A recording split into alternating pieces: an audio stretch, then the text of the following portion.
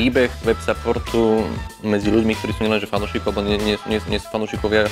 je samozrejme keď vidíme taký, že, že, že veľmi úspešná firma, ktorá zároveň je veľmi otvorená, transparentná a, a ktorá predbehla dobu v tom, že keď teraz každá firma sa snaží byť akože autentická, ľudská, tak web support takým bol od začiatku. Takže to, čo ostatným trvalo pochopiť to v dobe social media, byť autentický a, a, a, a relevantný, tak vlastne web taký bol, bol ľudský už od počiatku, čo je, že vlastne, vlastne bol, bol trendy predtým, ako to bol trendy. To, že web support je lídrom tak dlho a že existuje už 15 rokov, je určite ako keby kombináciou teda nielen, nielen tých technologických skills, ale najmä ako keby výberu ľudí, ktorí pre web support robia. Zakladateľ si vybral ľudí, ktorí v naozaj, presne Michal si vybral tak správne, ktorí dokázali tú firmu vždy posúvať lepšie a, a, a, a dlhodobejšie, konzistentnejšie. Takže konzistentné výsledky priniesli ako keby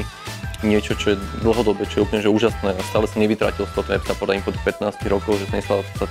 to, že korporátna firma, takže udržal si tú svoju nekorporátnosť. Web support ako keby, že jedným slovom je nekorporátnosť, a jednou vetou je web support nekorporátny. tak Zaragus ako komunikačná agentúra vie najlepšie pomôcť tou komunikáciou, to znamená, že radi pomôžeme niekomu z klientov web supportu v tom, že dáme si s ním